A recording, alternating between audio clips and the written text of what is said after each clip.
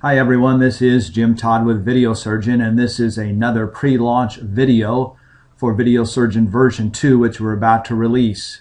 Today I'd like to look at the sniffer module because we made some changes to it.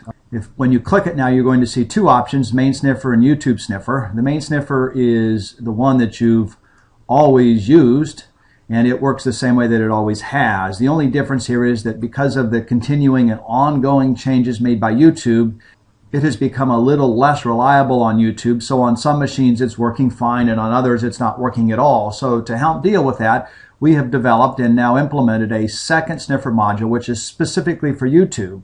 And it actually has some advantages that I think you're really going to like. Uh, it works a little differently. You open it up and you have to copy and then paste a URL into here. And then like the previous sniffer, it has download only or download and play. As you can see in this new sniffer module, it shows you a list of videos from you to choose from. And this is obviously different from the previous one in which you'd only detect and sniff one video.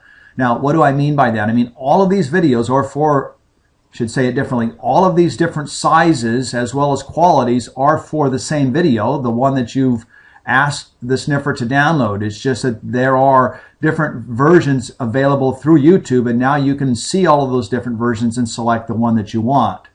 Why is this important? Well, because the larger the video and the better the quality, uh, when you use that video in Video Surgeon and you zoom in, for example, to try to see more closely something that you'd like to focus in upon, you're going to have better quality on zoom and therefore there's going to be less pixelation, less fuzziness, and it's just going to be easier for you to see.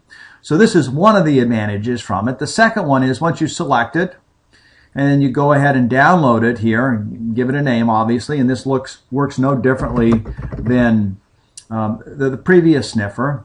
Uh, it's going to download a whole lot faster uh, and that's because it uses a different mechanism.